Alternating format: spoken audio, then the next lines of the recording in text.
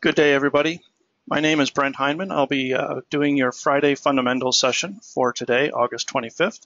Uh, today's class is a bathroom design class, and um, we're going to be covering a number of different items using SoftPlan 2018, which is our current release. Um, today's intent is that uh, you sit back, uh, enjoy, just uh, listen in, watch along, and uh, if you happen to happen to have to leave or you've missed any part of this, um, these will be recorded and posted hopefully in the next week to two weeks to our website and YouTube. So you won't uh, miss out. You can always go and grab this stuff later on. So um, to get started, like I said, we'll be using 2018 of SoftPlan. And what we have here is a, um, a basic little floor plan. It's going to be somewhat like a remodel job. We're going to be adding um, a shower, uh, a vanity. Uh, we're going to customize the vanity a little bit. We're going to uh, draw in a, uh, a, bathtub, and we're going to take a look at different interior finishes and uh, different methods that you can use to add different textures to your walls and that sort of thing. Because as as you know, with custom showers, that's the new thing uh, to put in highlight walls and stuff like that, highlight pattern patches. So um, what we are hoping to achieve, I'm just going to, uh, should be sharing my screen. So let me know if you don't see this when I, when I flip over to it. Uh, I'm just going to flip you into um, what some of the some of the things that we have I have been creating. Um, so I'm going to take you into this is a ray traced uh, version of what we're going to look into today. So you can see a, a vanity. Uh, we're going to set those those cabinets up and try and put a shelf underneath, put some glass um, panel doors in, some stone on the back wall. It could be tile, it could be whatever you want, want it to be. We're going to put in a glass shower. I'm going to show you uh, briefly how to define a wall that you can use for this. You, there's met different methods. I will cover um, at least uh, verbally, on how to do them in different ways. But I wanted to show you how to do this using uh, a transition material in our walls. Um, I'll show you a little bit clearer version of that in um, one that I created that is a textured view. Um, it's a little crisper.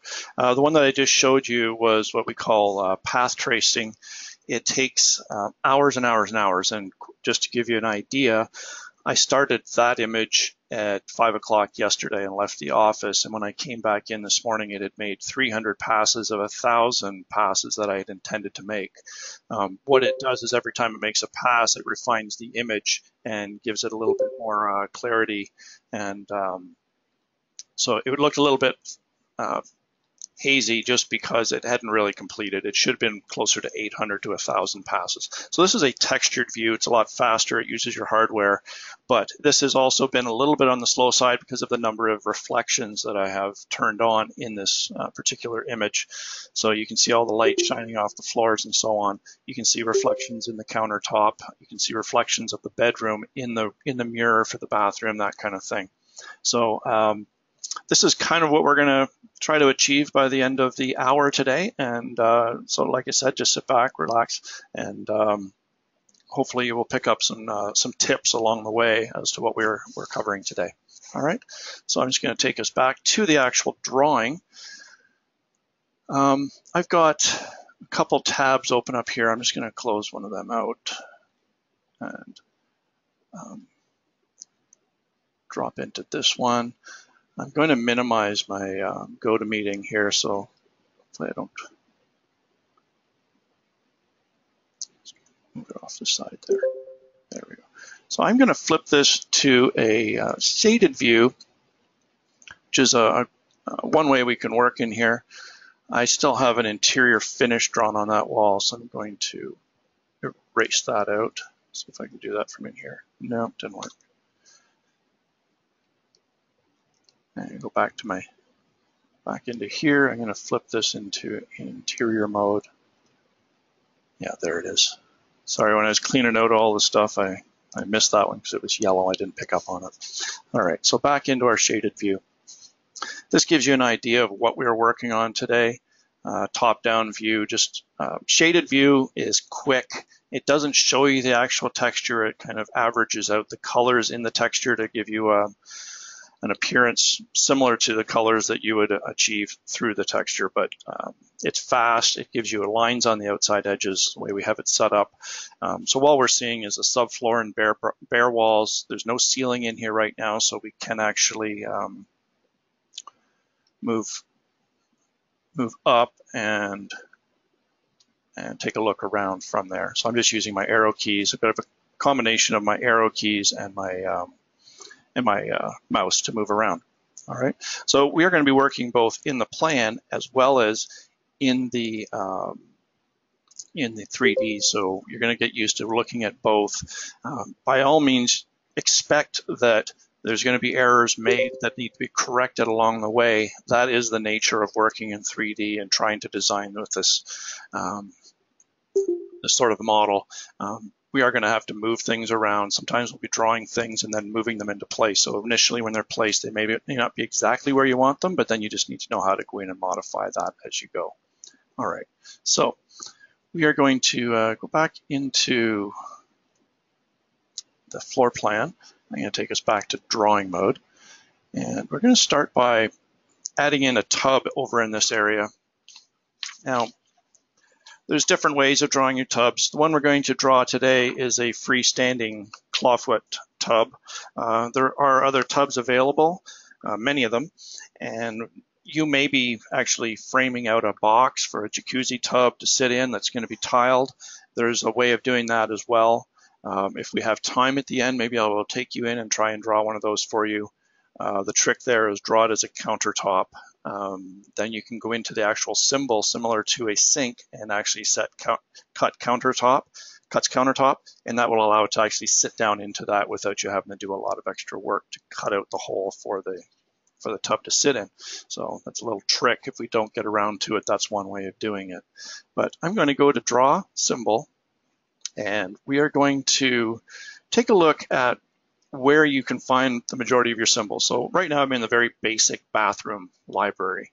And you can see these are these have been around for a long time. These, these are your standards, um, really good go-tos. But if you're looking for more, you can go into the SoftPlan Plus. For those of you who are subscribers to the SoftPlan Plus uh, program, you'll have access to uh, limitless uh, symbols because we're going to continually add to these as time goes on. Um, in the next day to two days, you should see some new stone textures come out. Last week, we put some books out. Prior to that, um, we were putting some furniture out. Uh, we've put some different rugs and that sort of stuff. That all just appears. So that will come down to your computer as you click on those libraries. So it's always good to go and check on those. So anywhere that you see a SoftPlan Plus, so there's one nested under the bathroom. Uh, we're going to go down to manufacturer, and these are all the ones that are typically installed on your machine but then if you click on the SoftPlan Plus, if you are a subscriber, you'll have this option and then you'll see additional um, symbols appear there. These libraries are essentially empty until you actually click on them, at which time we go and we grab the 2D and the 3D and we download it onto your system. So you will need an active internet connection. That's uh, imperative when you're, especially when you're working with SoftPlan Plus. If you are not using symbols you've already drawn before. If you've used that library before, it's already on your system and you'll have access to it. But the first time in, you will need that. So we're going to start by adding in uh, Villeroy and Bosch. So I'm going to slide down. I don't think it fell to the top. No, it did not. So there it is. And inside Villeroy and Bosch, you will see um, a number of different um, different lines, and some of them are very small. Some of them don't have a lot in them. But for instance, this is the one we want, the BQ uh, big long number 175CEA7V. So it's just a, a standard little claw to, clawfoot uh, tub. We're going to just move the dialog off to the side and remembering that if you look at the 2D view of anything, that's going to indicate the bottom is where the insertion point is, and then um, then you move up from there. So in this case, we want it spun around 180 degrees from that. So I'm going to start at this side and draw it like that. It will automatically snap to your walls.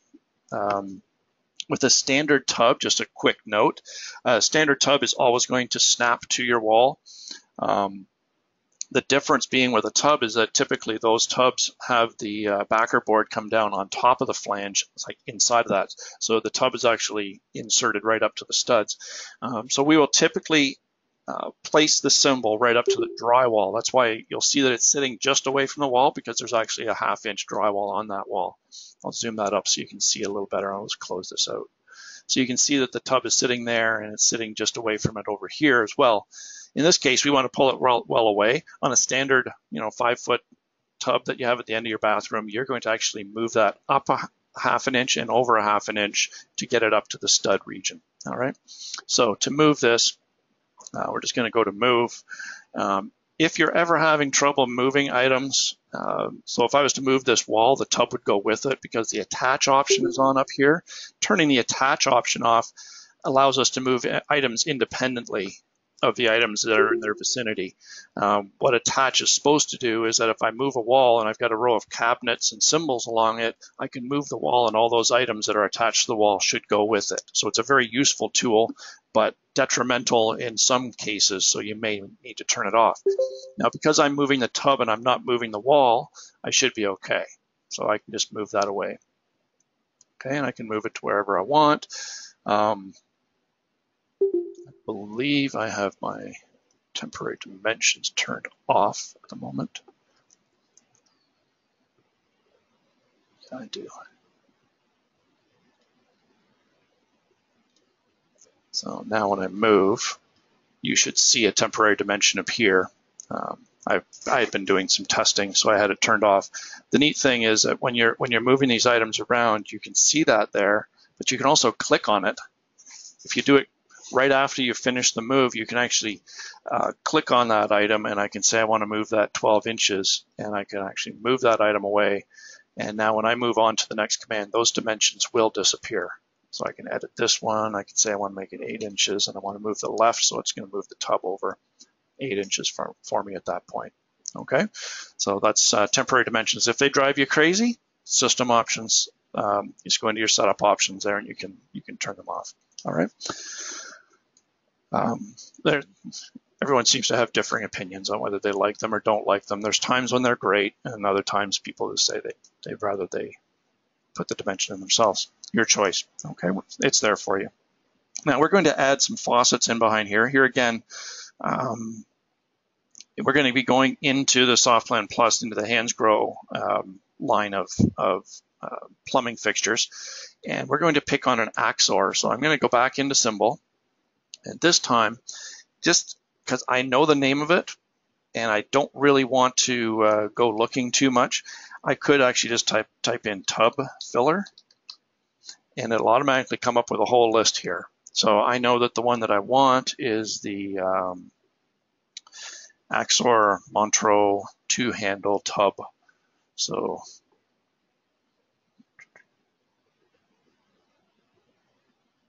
yeah, there it is. Okay. So it's one that will stand on the floor and I simply click and I can place it.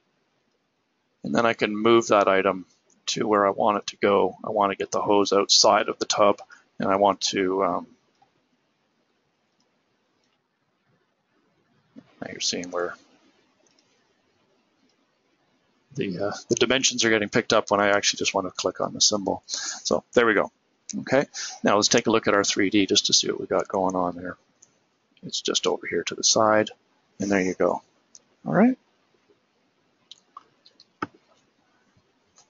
So there's our tub. We've moved it. We've added our faucet um, and uh, shower handle onto that. The next thing we're going to move on to is I'm going to jump right into drawing in the shower itself. We won't be spending any time on drawing the toilet. It's much like drawing the tub. It's in its own little room at the end here. Uh, it's already been drawn in.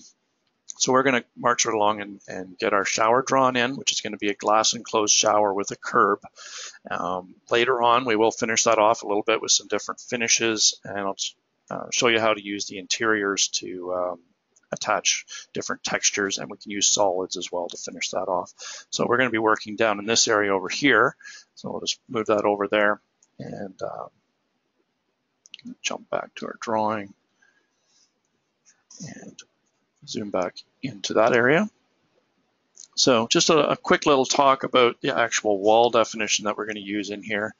So I'm going to go into my drawing options because I know that I have it there. Uh, when you're defining a wall, always wise to define it at your system options. You can then bring it into your project level and you can bring that that particular wall list right into your uh, drawing level if you already have a drawing created. If you define it at the system level and you create a new project, obviously all those walls are taken right into that project and subsequently right into your drawing as well. So um, this one here, we're going to go into define. I'm going to go into edit. And we have two of them up here. I was playing around a couple days ago. Um, I did a, a, tile base with a glass door above, or or glass above, and I actually did it up with all the wall materials. Now the only downside to that is um, there's a lot of upsides to it in that it will actually count all the proper materials, the plates and whatever you have in that wall, depending on how high it is, and that's and studs and so on. Um, the only downside is when I would do transitions from one height to the to a lower height, the ends of the walls aren't typically capped off. Um, only the lower wall would be. So in, in lieu of that, I've also created one called solid base, solid tile base with glass glass above, a much simpler wall. So you can see that the first one had a lot of materials, had tile and uh, drywall, glass. So I put in backer board and all that stuff.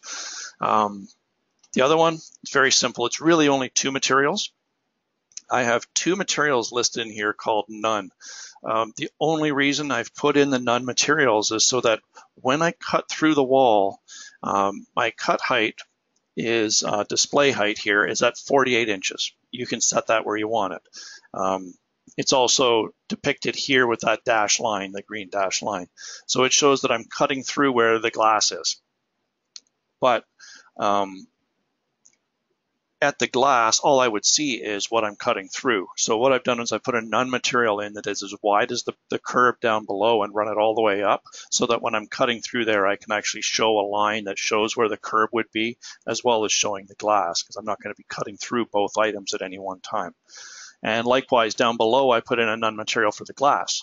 So take those two items away, and I'm really just left with glass above and tile down below. The tile I've made it five and a half inches.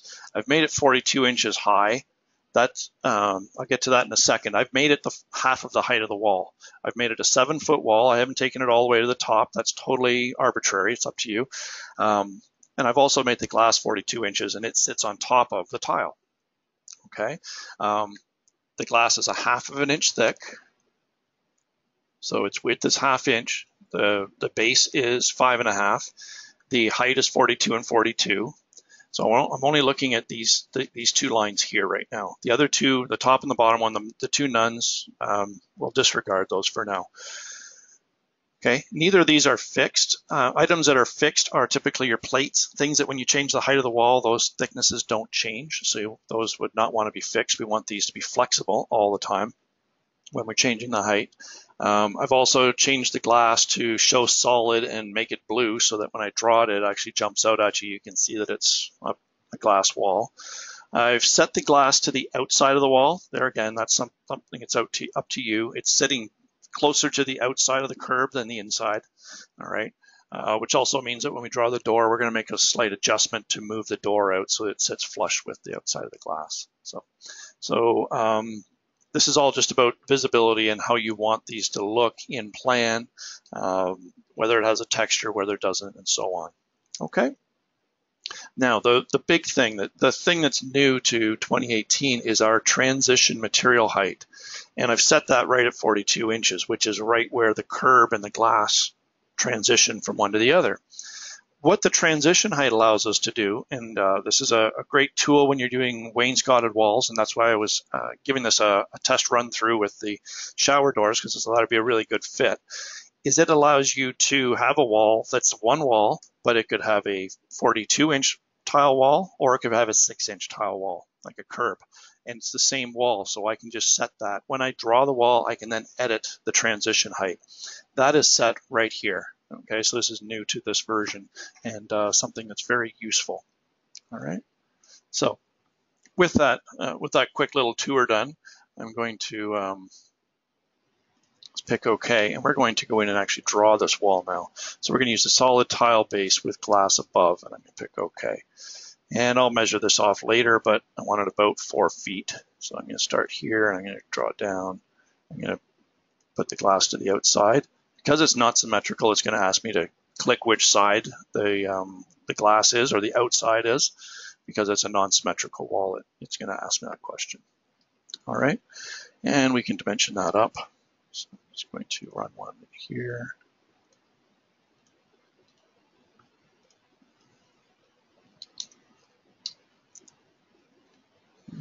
This one.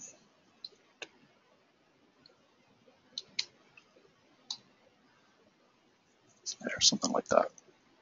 Okay, that gives us lots of room for our vanity. I could have made it a little bigger, but uh, gives you the idea.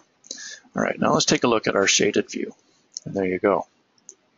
Pretty neat. Now, we're going to play around with this a little bit more in that um, with this wall, currently I've got it running all the way out at, at 42 inches high. Let's say that's not really what I want to do.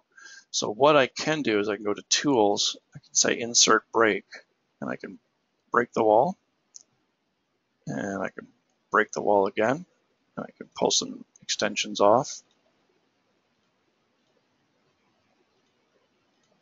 And dimension this back.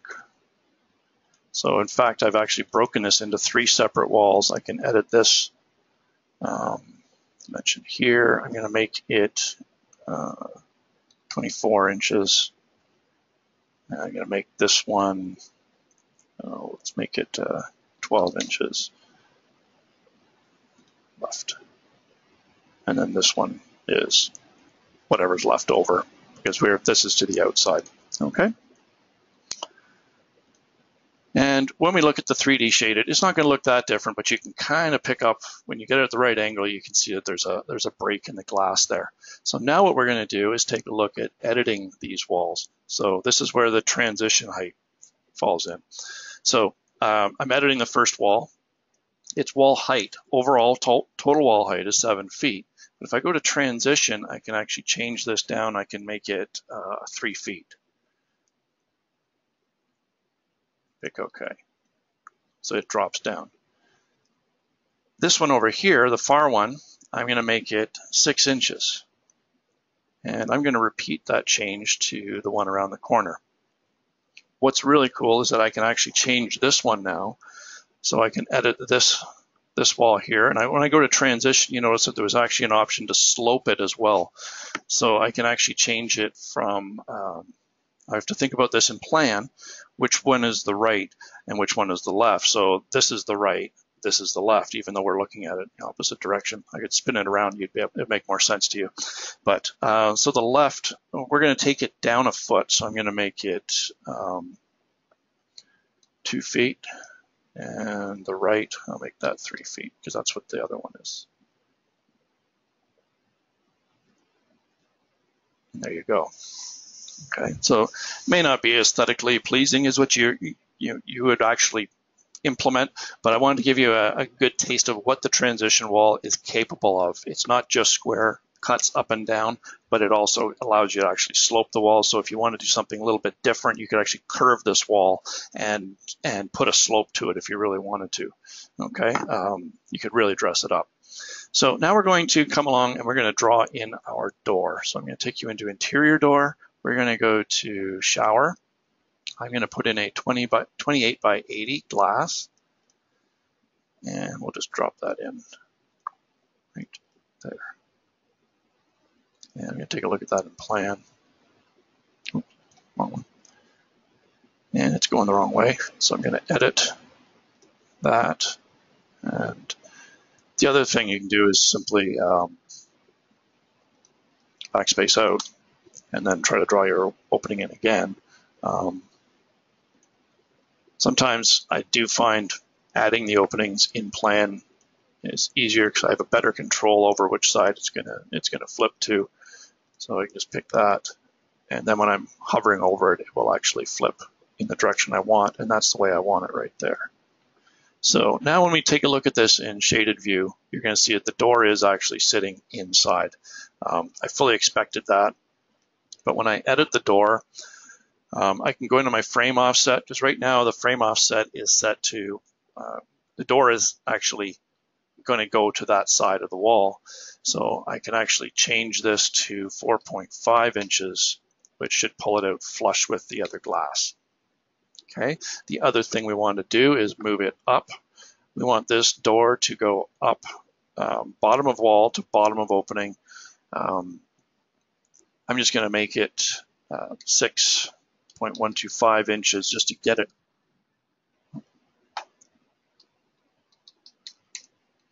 uh, just to get it up over the curb. And then we can also change its height slightly to uh, bring it down. So I'm going to I, I can modify the actual height of this opening by clicking on this and we can bring it down to say six foot six inches just so you can see it's probably going to be an eighth of an inch high but I can you can modify that if you needed to okay? Gives you the idea of what we're trying to achieve here.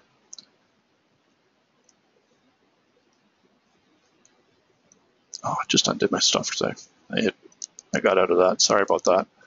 I'm just going to go back in and make those changes again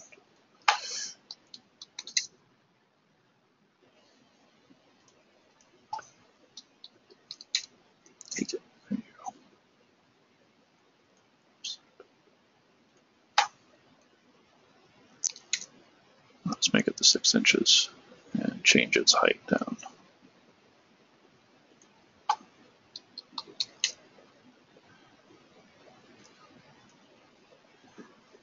That's something to be careful of. When you're in 3D, uh, you, you, tend to go to your arrow keys and start moving around, but if you're still in an edit, you're still moving around in there, and that's why I canceled out of that, because I had been moving around and I didn't want to impact what I put into the edit. Consequently, I lost the changes that I'd made by doing that. So that gives you an idea on how to draw your, your glass doors in your shower. Uh, one of the last things I'll just quickly take you into, when you're drawing the actual door, you can go into your um, miscellaneous and you can change your hardware. So you can select hardware here. I sometimes just go in and I pick the um, cabinet hardware and I just put in that one. Same thing here.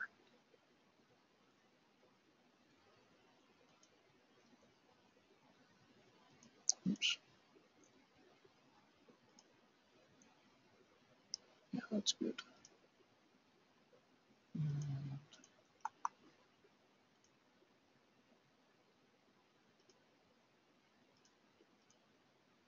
There we go. So there is one there. You just can't see it so much because the glass is semi-opaque. Um, when we want to check that, we can simply go to the icon up here, Surface Edit, and you can click on your glass and when you go into your options, you'll see how opaque it is. So we're we're at uh, 30%, so we can um, we can see through 70%, and 30% uh, is opaque that we cannot see through. So if I want it to be more clear, I can keep dropping that down a little bit. Um, you can change your uh, your emissive and your your your ambient to brighten it up. Your emissive well would be if, the, if light was hitting it, it would actually glow. We don't really want that here. We will see that on our lighting fixtures if we get to that today. So that is something you would do on a light fixture so that when you turn the light bulb on inside, the globe should glow a bit, and that's what the emissive option will do for you. Okay, we're going to move on to um, Next thing we're going to take a look at is drawing in our, our actual vanities and so on. So we're going to uh, save our drawings. We don't want to lose anything we've done so far. And um, I'm just going to work in this area. I'm going to erase these dimensions out. We don't need them anymore.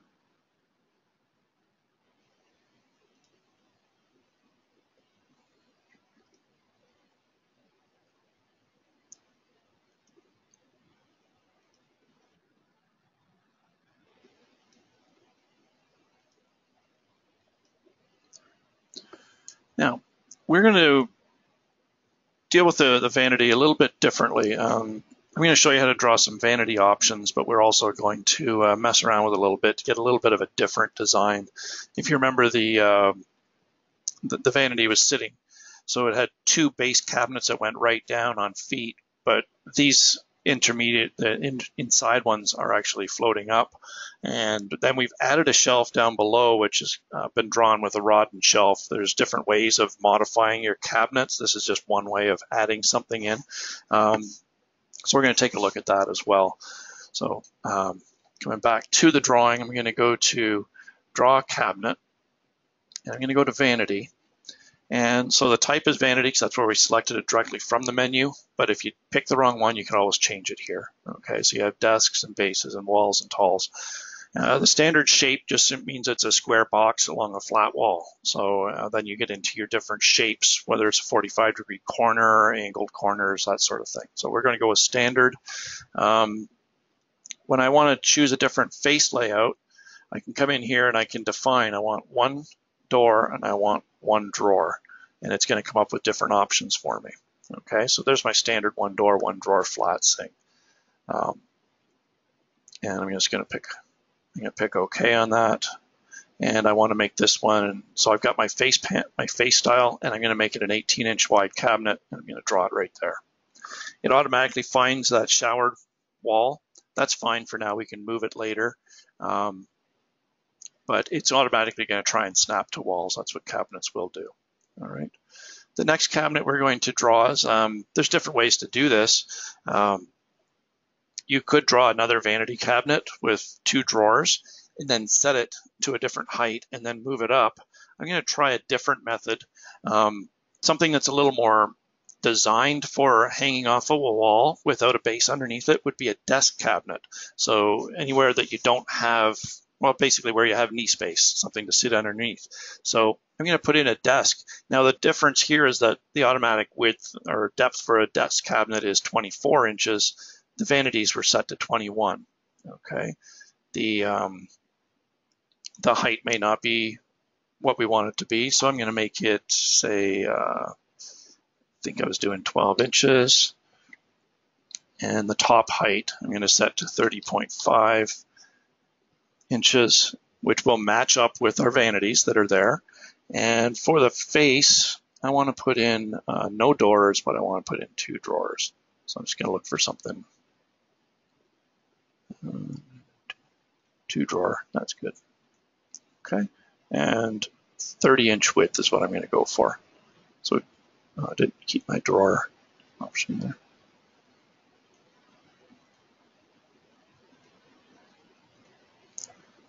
And I'm just going to drop that in next to it. Oh, I got the wrong depth again. Back that out. Width is 30, depth changed to 28 on me when I went through this. So I want that at 21 and my top height is right. Let's try that again. Drop it in, perfect. We're gonna drop a second one in. Now, not that I'm lazy, but I don't wanna have to go through and find the other cabinet that we had at the other end there. So I can just go to Draw Select, which is the top left corner. You may have wondered what that is.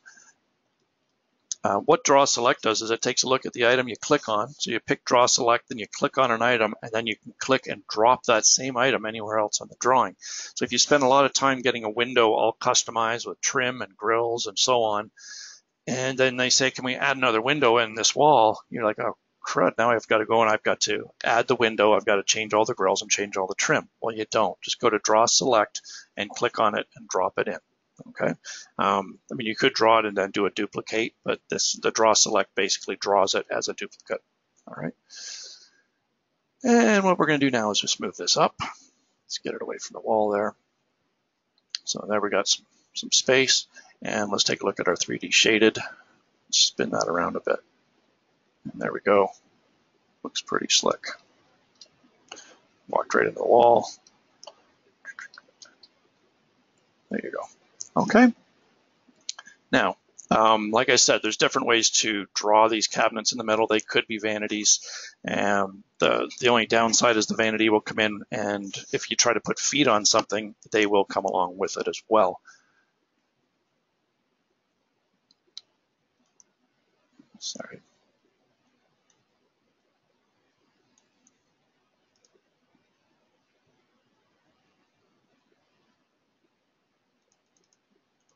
Okay, I had a quick question there. Someone had asked me why under the shower door it looks like I don't have a surface. Um, I can probably answer that very quickly without even looking at it. If you remember when I first put the door in, I offset it up uh, six and an eighth of an inch. Um, that was to get the door sill out of that space. Uh, when I did put it back in, I just put it at the six inches. So it, uh, sometimes you do want to leave that extra eighth of an inch um, or just any fraction of an inch just to get stuff out of there. Um, so you can, so I'm thinking you're, you're, you're looking there. You can see a bit of it clipping in and out as I move around. You can see at the, at the bottom of the door.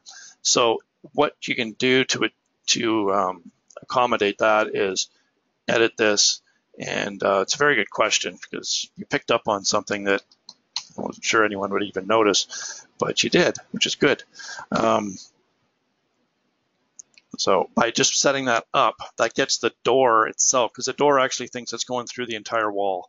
Uh, by getting it up off of the curb just that little bit, which is what it would really do, will uh, eliminate that little bit. Um, it also means that I should really change this to uh, six foot 5.875 inches in height to get it down flush with the other glass. All right, so that's all that is. That's a good question. Um, I'm gonna, we're gonna be running out of time, so I'm gonna really try and move along here. Um,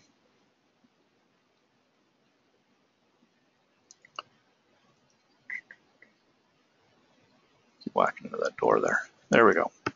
So a couple things we'll do with this cabinet. Um, I want to edit the ends. Um, when you're looking at the cabinet run, um, we, we, have, we have toe kicks in there right now, but if I wanted to go into accessories, I can actually put legs under these. Um, I might not like the ones that came in initially, so I can come in here. I can go to 3D, which gives me a good idea what they look like. I'm going to put some tapered legs in there. Um, so that will pop those in for you. Um, really have gotten any under the desks because they are a desk, but what you can do then is you can edit these. And I can take edit this one. And go to my common tab, take it out of cleanup.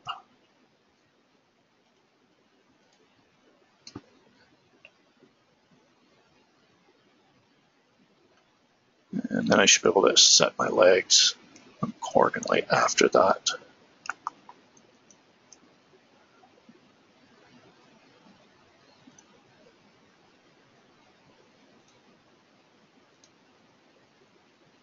I'll take a look. We, we, are taking a look right now at actually different ways of getting the legs in there without um, having them on those those particular cabinets. But if I was to explode this into individual cabinets so they don't bind to each other, that would allow me to actually place them on the individual pieces uh, much easier. Um, the other way would be put a wall cabinet in here, which would not have any uh, legs under it, and that would also work. Um, the upside of doing a wall cabinet would be that we could actually put in valance lighting that would shine down in this area. Okay, so uh, just something else to take a look at. But I'm going to move along just because uh, in the interest of time, we do want to get this moved along uh, before we run out of time. So I'm going to edit this end cabinet here as well. And when I go to the, um, the vanity cabinet itself, I can um, go to the face and I'm going to do a custom face. And in here for the door, if I want to put glass in, I can simply come in and pick a custom option there. And then I can repeat edit that change down to this one to get the glass in that one. Um, on this one in particular, I'm going to also come in and do my face and reverse it so that the handles face to the inside as opposed to both on the left side. Okay, because I did just draw a standard cabinet, but there is a reverse option so you can flip your, your handles to one side or the other. Okay, um, to add the, the shelf, I'm going to take us back into here. And this is a little bit of a trick, but um,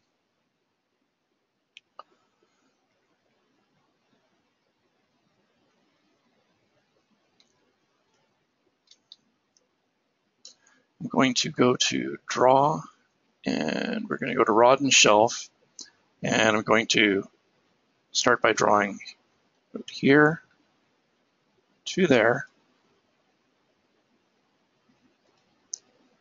and then I'm going to edit that rod and shelf. And I'm going to turn off the rod because we don't want a rod in there. And we're also going to change its offset. Typically it's going up six feet. We want it to take it up six inches. So we want it to sit down low, uh, right, right underneath that cabinet. Okay. And we can take a look at what we've done here by just going back to our shaded view and you can see the shelf sitting right there. So that's one way of getting one drawn in without having to actually mess around with open cabinets and so on. Now, if we want to change the actual finish on any of these cabinets, we can also do that right in the actual cabinets. And I'm going to go to a uh, cherry dark and pick OK. And I'm going to repeat that change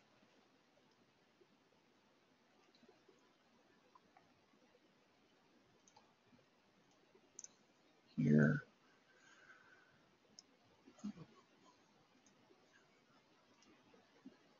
It's because I have them exploded at the moment. That's why they're behaving a little bit differently.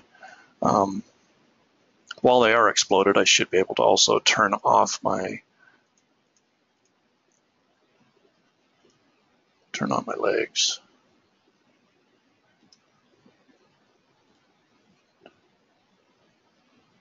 Accessories, legs, tapered. Okay.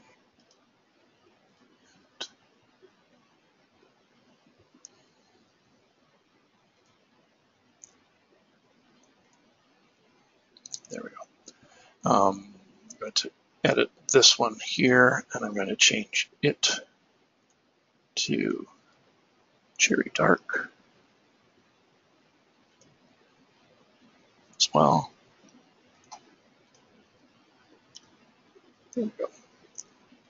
And make sure that that one is the same. I think it already is. Okay. So by exploding these into four separate cabinets, turning their cleanup off so they don't reconnect to each other, I was able to get rid of the legs. Uh, just uh, it's a little more work that way. That's all.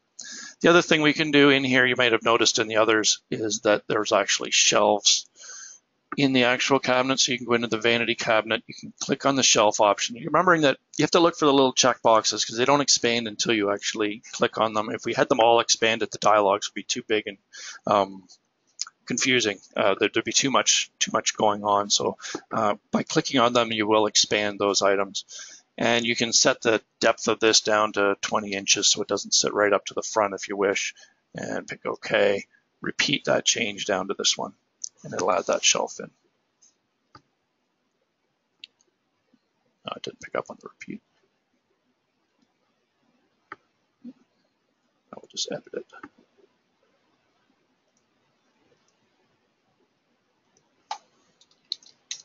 There we go. All right. Couple other things we're going to add in here. Um, we're going to next we're going to add in our vanities, our, our our basin, sorry, into the vanities. So I'm going to click on this one and you can see that we can actually add taps and sinks directly from the cabinet now, which is going to plop it right on, right in the middle of it for you, which is really slick. Um, what it may not do because of the, especially the style that we're putting in, is they will probably stack on top of each other, but then it's just a simple move up and down vertically to get them into place. So we're going to go to the sink. Now for this sink, um, I'm going to put in a Villeroy and Bosch. Um, it's a 411060, so I'm just going to jump. You know how to look for stuff now, so we're just going to look for it there. And I'm going to pick OK. And there it is. Um, put in the tap. Uh, for that one, we are going to put in the um, Brizo Charlotte brush nickel two-handle widespread vessel lav faucet. So thinking of something to um, search on, you can go to Brizo and vessel.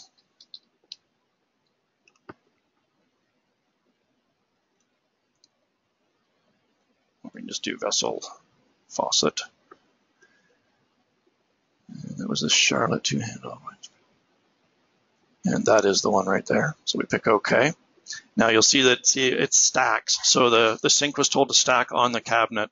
The cabinet or the, the faucets were told to stack on top of the, the vessel itself. So what we can do then is um, I'm going to repeat edit this change over to this one to get them there. In this case, it, it read the faucet first and then the, and then the vessel. No big deal. These are easily moved Just move it down until it starts to disappear into the cabinet. Sometimes an interior elevation might be a good way to work with this. Um, same thing here. And I can spin this around, move it a little bit just to see those a little bit better when I'm placing them.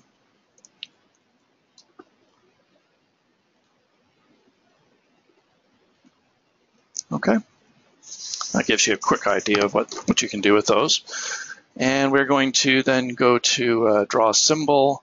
I'm going to go straight up to uh, bath. Here again, I can just type in mirror. I want to look for a mirror. So we have some um, tag words that have been attached to symbols. We've tried our best to find ones that would um, that would work. This is all I want. Yes. And I'm just going to place it right on that wall there. I can back it out a bit and it's going to shift us down a little bit. And then you also can adjust stuff right in here. So if you're not looking for accuracy, you can just pick these, these items up and stretch them out however you please. All right.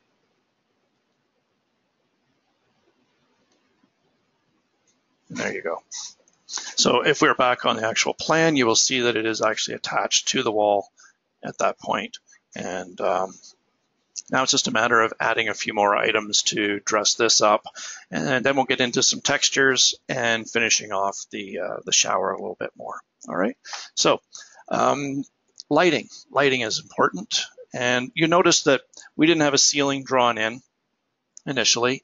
Um, so what we will do now is uh, I'll, I'll, I'll, jump ahead and we'll actually put in um, the ceiling and some finishes. And I'll show you different ways of doing it. Not to say these are going to be complete because of the, the, the, walls that we have in here, but I'll explain that a little bit further as we go. Um, and then we can uh, drop in some pot lights into the ceiling and we'll put some two uh, wall sconces on either side of the mirror so that we have our lighting on that, that area as well. So I'm going to drop us into what we call room mode real quick. What room mode does, and you'll see it over here, is it will drop in your, your baseboard, your flooring, your ceiling, your wall finishes, your chair rail, your crown molds with one single click. So they can be pre-configured to add all those items in for you, just like that, uh, which is really cool uh, the only downside is that along here we do have a transition from a painted wall to a um, to a shower wall, and I don't want the paint going around the shower. I want it to uh, stop at that corner. So it's not going to work necessarily for us today, but um, just to to show you the ease at which you do it, you simply click. I just erase that one, but I go into room, and I can just simply go to bath, and I just click in that room. Um, I'm going to add one over top and in it goes. Okay. And it's that simple. And that's what adds all those finishes in for you. Um, if I did add one in here, it would leave the shower out, but I would also get a finish going around there. That's not to say that it doesn't get me some of the way. I can always come back in to interior mode, which is what it is, where it's added the items individually, and um, I can erase the ones that I don't want at that point as well. So um, BB is baseboard, and we've actually put the profile right in there so you can see what it is. Um, FL is for floor, it's ceramic number one. Wall covering is paint number seven. So we're, we're uh, doing a better job at actually showing you exactly what they are without you having to edit them. But you can come in here and you can edit the ceramic one and that and so on. All right. So the other way to add this stuff in is to uh, manually draw it where we are right now in interior mode. So I'm going to erase a couple of the items that aren't going to work for us, like the wall covering is going to go away. We'll put that one in manually. Uh, the baseboard, I don't want baseboard going around my shower base. I want it to be tiled. Um, I do have my flooring in there. I can edit that and I can change it to whichever one I want. Um, uh, you, you, can leave it on ceramic and you can change that over. You can you can draw in what you need. Um, there's stone tiles. There's all kinds of things you can you can add to this. So we are also going to go in and I'm going to put in um, tile one. I'm going to draw in tile one, sorry. I'm going to put tile two in here. And I can do an auto trace because it should be contained within the walls. As long as the walls close in, you can do an auto trace. Okay, uh, we're going to put in some baseboard, so I'll just put in the standard old baseboard. I'm going to manually trace that in, so I'm going to zoom out just enough that I can see all my walls. I'm going to start here, and I'm going to trace that around. You don't have to be super accurate, and we're going to stop it right at this junction here. And then right click to say you're all done. Okay, uh, wall covering, let's put in paint two. Uh, manual trace again because I want to stop at the shower.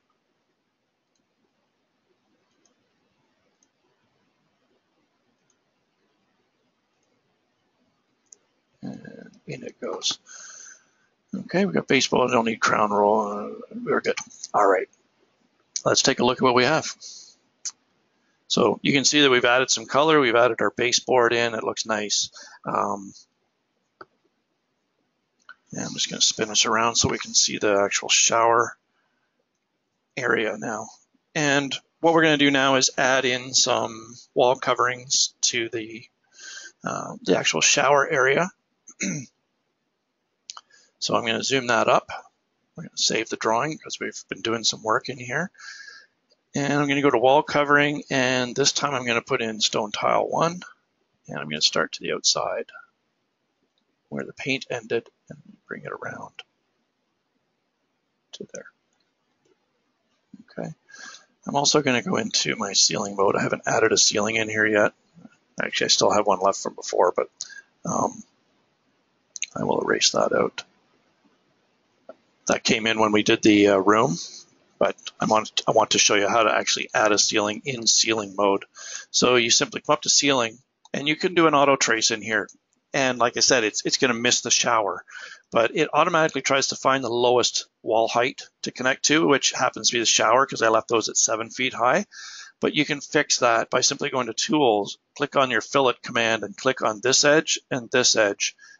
And that will eliminate the shower. It'll it'll form a, a 90 degree corner of those two edges, and it then goes looking for a new plate height, and it finds the top of the eight foot walls at that point. All right. So um, we're going to go back to drawing mode. We are running out of time. We are getting close to the end. We are almost done. So if you um, care to stick around, I will finish this off as best I can. Uh, it might take us just a little bit over the hour, but if you do need to leave, I fully understand it's Friday, places to go, people to meet, and uh, I appreciate that you spent the time to um, uh, to, to watch our session today, and I hope you've picked up some really cool tips. We do have some neat stuff coming up. I'm going to be drawing a niche in the wall into the shower for like shampoo bottles and soap and so on.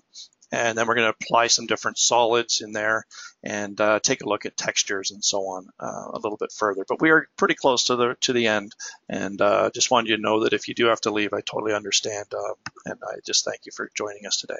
So to continue on. Um, you can see the, the, that we have that texture in there now.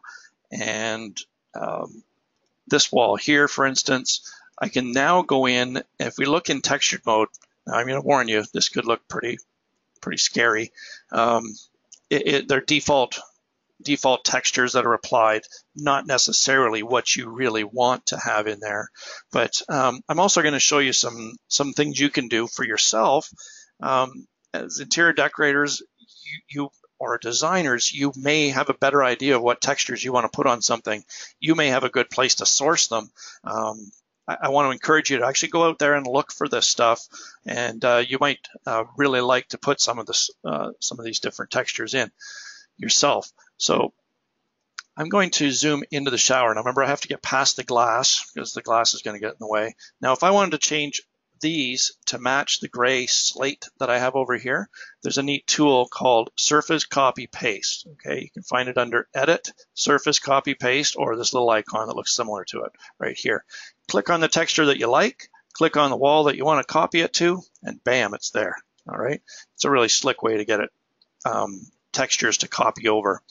Um, now to, to, do the floor on this one, um, I wanted to show you something different. It's a surface edit, edit that surface. Now I don't like what we have there so much, but I want to change that. So I can go to the texture color and you can see that we have uh, all different textures you can pick from. I could put in something like that if I wanted to. Uh, I could pick a different color if I wanted to. These are good for backsplashes and so on as well. Um, but what I did do uh, prior to today's classes, I went, and in this case, I went to the uh, Wayfair site. They have so much stuff there you can pick from. Um, not only do they have textures, they also have 3D symbols, which um, are, are, downloadable, and then you can use our wizard to import those. Uh, that's for another day, though. That's a, a, little bit more involved, but it's a really great way. If you see a table that you like, you can actually get their SKP or SketchUp file from their site and then bring it in, and uh, it's a true representation of what you want to put in their house. But I went in there and I downloaded a few things. I didn't spend any time on these to make sure they match up well. All I did was I simply took um, a Riverstone tile and I cropped it off. And surprisingly, it, I don't even see the seams really. They're not that obvious. Um, so it actually looked really good.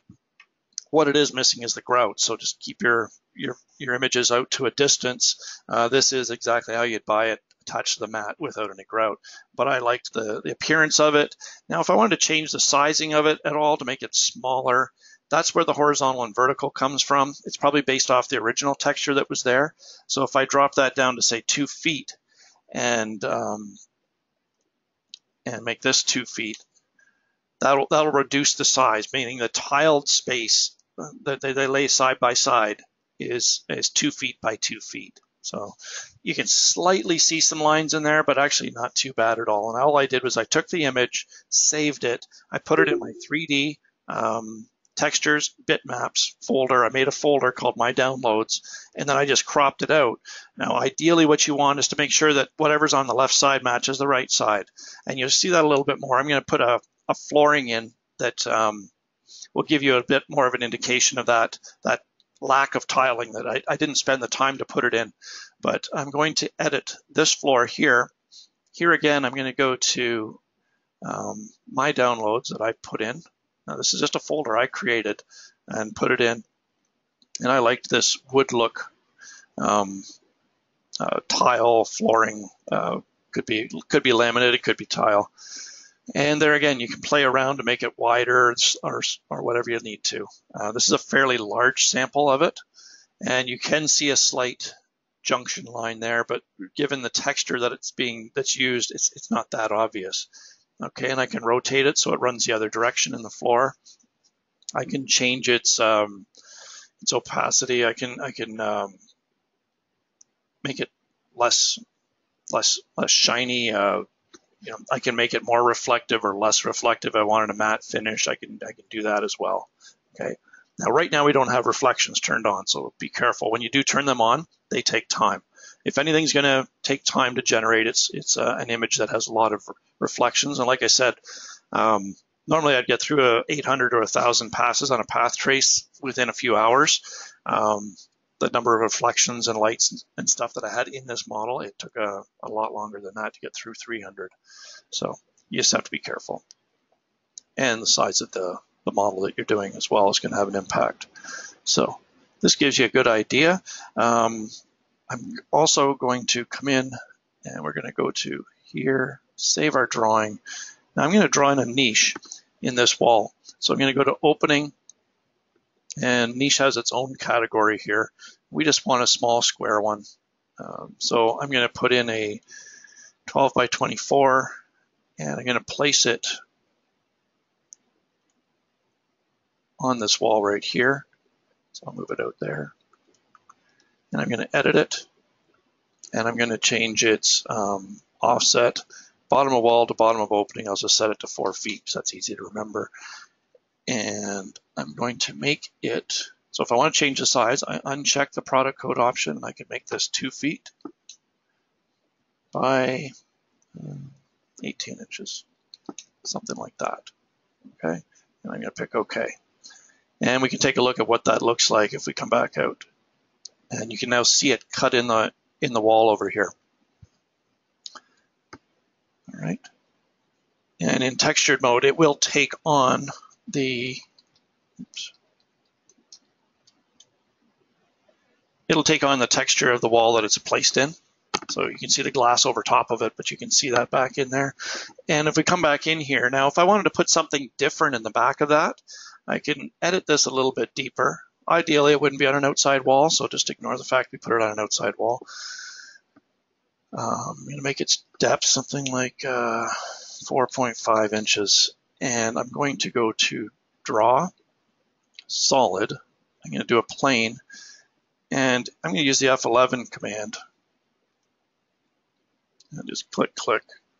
And then I'm going to edit that. So right clicking on any item will give you the two choices that it found under the cursor or three or four or five choices and allows you to pick on which one you want.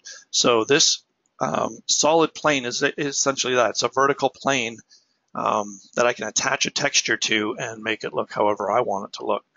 So its height was 18 inches. Its length is correct at two feet because I used F11 snaps to, uh, to connect those up.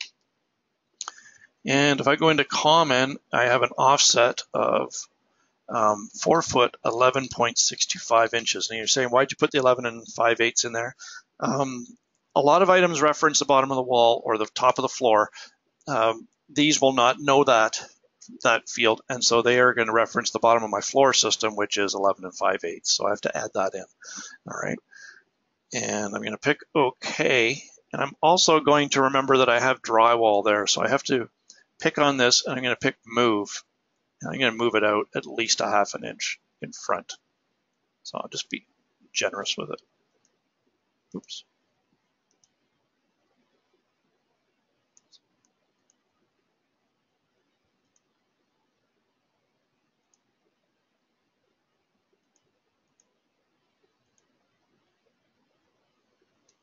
I'll just leave it out where it was. Sometimes a little finicky. There we go. I just need to zoom in a little bit closer. Now we can um, drop back into our 3D textured view. And I have a stone texture applied to these already. So you can see that it, it's, it's going to give me that. And I can then go in and I can draw another solid in behind where I want to put my faucets and so on.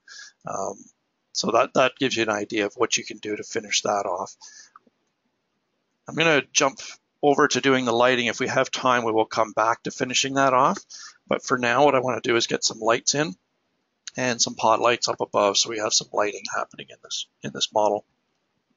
So I'm going to go back to, say, electrical mode, which is essentially your floor plan with a lot of items turned off that would clutter up the drawing. And then you can you can draw in all your electrical. It just makes it a little bit easier and uh, easier to see. So I'm going to go to ceiling lights. I'm going to go to a four inch can, pick OK. Drop one in here. Drop one in here.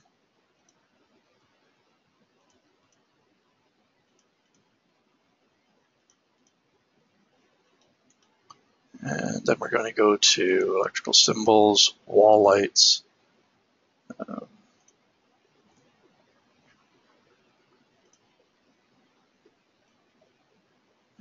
the contemporary.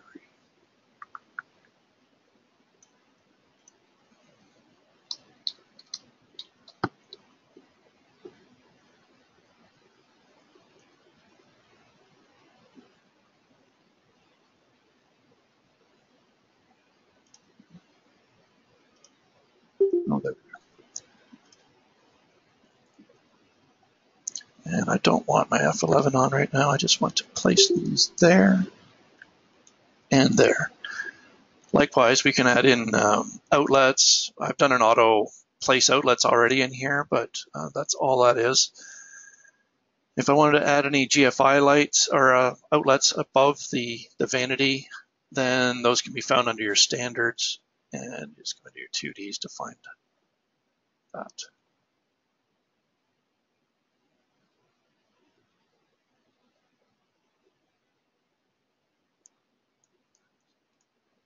Now the height on those may not be exactly what you want, but it's not far off. And you can center them up better.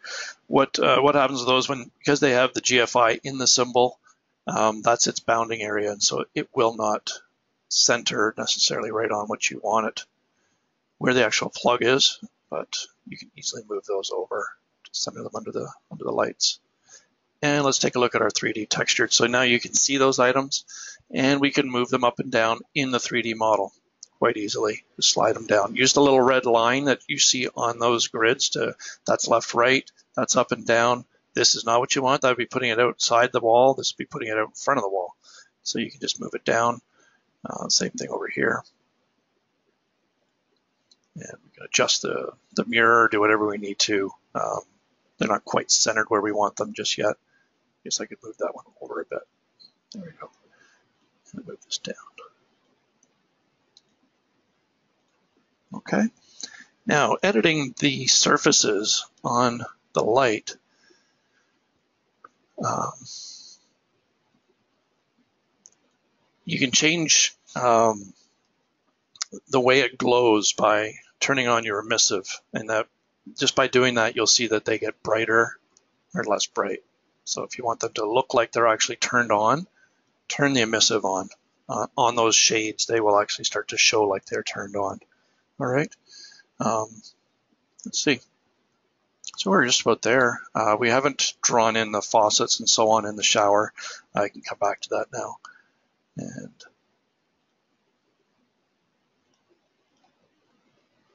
just make sure we saved everything.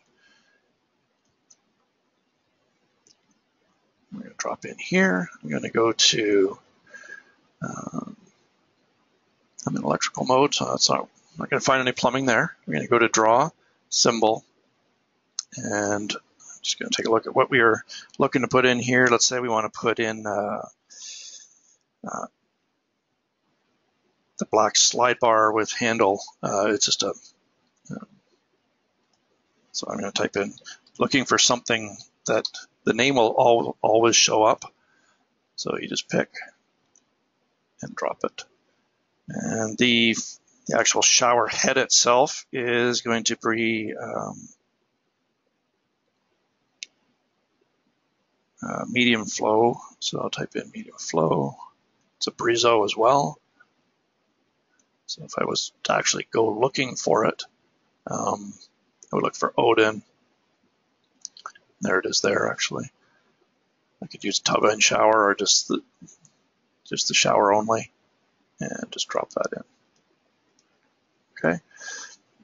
then what you want to do if you if you wanted to put in any other textures to to go in behind this, obviously, um, that's where you just simply go to draw and you can go back to your solid again and you can do a plane or you could do a cube. If you want to show some thickness, you can draw a cube um, or just draw the plane in and just draw it across there. And then move it into place where you want it. Make sure it's in front of the drywall just slightly so that it is not clipping like we saw with the bottom of the shower door. And then you can edit that plane and let's say we want to make it, uh, we're going to make it um, 18 inches wide. And I'm going to make it seven feet tall. And its offset will be 0.65 just to get it up there. And I'm just going to move it over just a little bit to get it centered a bit better. And then when we look at our 3D textures, you can see it there. And what you can do then is just move in. Here again, I'm just getting past the the um, the glass. And then when you're editing this, if you wanted it to run the other way, it's automatically orienting in that direction. So I want to click on it and just check the check the rotate option to flip it the other way. Okay. And then what you can do is if you wanted to change the uh, the textures on these, I can click on this and click on that. Click on that. Oop, misclicked. There we go. Okay, to make them all the same. That stuff can be moved around. You can do whatever you need to with it from that point on. One last thing, um, given you may have some really good ideas of what you want for paint colors, um, that is something you can always modify after the fact. Click on that wall. What it did is it applied probably paint 7 or paint 2 or something to the wall. I think we put paint 2 in. Um, Paint 2 has been assigned a particular texture. That's not to say that's what you need to use, but you can see at the top it tells you what the item is you just selected. And then what you can do is you can go into the texture color, and this is this is already a, um, a Benjamin Moore Affinity color swatch, but we have different ones available to you. BM just refers to Benjamin Moore. You got your Racine, you got your Sherwin-Williams colors down here as well. Okay. So you can go in here, you can pick whatever you like from this from this list, um, and, and they're all there for you. Okay, so if there's something along those lines you like, you can put that in. Something a little lighter, you can place that. And I'm just going to throw this into a render just so we can see what we ended up with when we're all done all this today. Um, Nope, I just, see, I was moving around. I hadn't closed out of this dialog yet. There we go. So, um, what we are going to do is I'm going to uh, take us back here, save our drawing. In the textured view, I'm going to go into my options, and if I go into mode options, into the face options, you can see reflections there. Um, this will take a little bit more time, so I'm going to get it started and um, you should see the results coming through. There again, just remember you can go in, you can change the, the opacity, the coloring of the glass. You can do all kinds of things to uh, dress your image up. Um, this will take a little bit of time to initially go through and, and calculate any reflections that we have off of the um, off of the countertop, off the off of the mirror, which you can see coming in initially. So that's the first box going across there. It's picking up on those particular reflections. Uh, it's then going to go working across and it's going to pick up reflections on the shower doors and then work its way across and then down to the next row. So um, I hope you've picked up on lots of great tips today. I'm sorry that I ran over the hour a little bit for you, but I think you will um, be able to get a very photorealistic rendering if you just follow a few of the tips that you've learned today. Uh, the only other thing we didn't draw, we didn't draw in the towels on the shelf down below, but there again, it's much like drawing in any other symbol. Um, you just draw those in and then move them into place. So those, those can be found right in the bathroom library. Okay. So I thank you for joining me today. And um, as this is finishing up, I think you'll you'll start to see some of the shadows and so on. Uh, one of the other things I, I, I probably should have brought to your attention is the countertop. We didn't really play with the texture of the countertop or the configuration of it. I just want to make you aware that in 2018 we also have a waterfall option, so you could actually curve that water that countertop and bring it down on the ends if that's something you'd like to see. Uh, we can also put a profile on the front edge of that countertop, so whether it's a um, um, just a chamfer or bevel on the front edge, or if you want it square, or whether you want a, um, a special shape, you can actually define that shape and apply it to the to the front edge of your, your countertops. So anyway, I thank you very much for joining me today. I hope you've uh, learned a lot and uh, enjoy your weekend. Thank you.